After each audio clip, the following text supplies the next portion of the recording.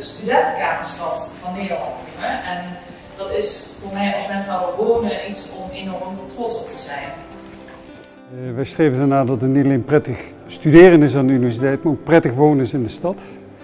En de erkenning als uh, beste studentenstad van Nederland is in dat opzicht heel erg belangrijk. Ja, er zijn eigenlijk twee dingen die Maastricht echt onderscheiden van andere steden. Uh, dat is allereerst de informatievoorziening, die is in Maastricht heel goed.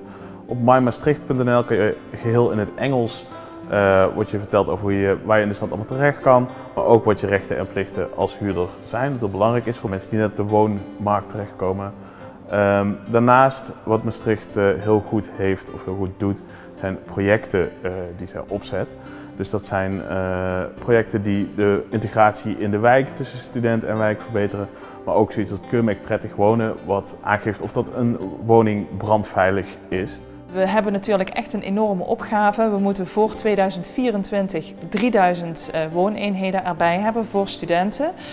Um, dat uh, gaat eigenlijk heel erg goed. Uh, we liggen op schema. Er, worden, er wordt met name grootschalige studentenhuisvesting gerealiseerd.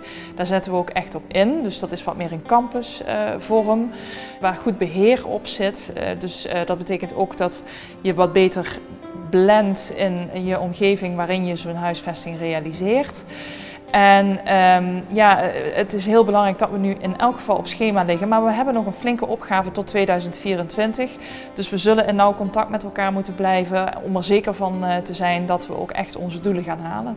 Het is belangrijk voor de studenten dat ze in contact komen met de stad, omdat volgens mij iedereen behoefte heeft aan onderling contact. Dus dat onderling contact zoekt iedereen wel een beetje, maar niet iedereen weet hoe ze dat uh, kunnen maken, vooral de internationale studenten in Maastricht. Dus dat proberen wij te faciliteren. En daarnaast kunnen de studenten via hun vrijwilligerswerk veel waardevolle ervaringen opdoen, skills leren, zodat ze ook naast hun studie uh, ja, belangrijke dingen kunnen leren. En het is ook een, uh, een teken van uh, een succes van de samenwerking die we gezocht hebben en ook gekregen hebben met de gemeente, met de woningbouwcoöperaties en de particuliere verhuurders. Het is een succes van de samenwerking en daar zijn we heel blij mee.